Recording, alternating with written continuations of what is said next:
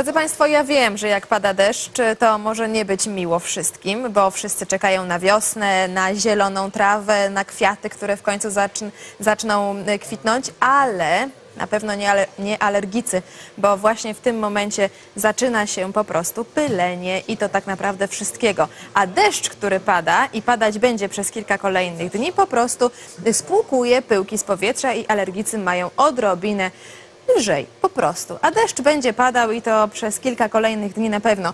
Dzisiaj tego deszczu najwięcej spodziewamy się w okolicach Szczecina i Trójmiasta. W tej chwili nad Warszawą coś zaczęło się przejaśniać, ale też może jeszcze padać e, i to do późnego popołudnia. A w okolicach Krakowa i Rzeszowa na południowym wschodzie kraju spodziewamy się dzisiaj wiosennych burz. A to wszystko dlatego, że w naszym kraju bardzo duża różnica temperatury. W Szczecinie tylko 7 stopni, nad samym morzem 5, a już na południu nawet 18 i 17. I tak naprawdę zmieniając mapy na jutrzejszy dzień, to y, pogoda dużo się nie zmieni, właściwie będzie prawie taka sama, bo cały czas dużo deszczu, najwięcej na zachodzie i na północnym zachodzie. Temperatura znowu tutaj najniższa 8 stopni, a najwyższa w Rzeszowie i w Krakowie nawet do 19 stopni i znowu po południu tutaj burze.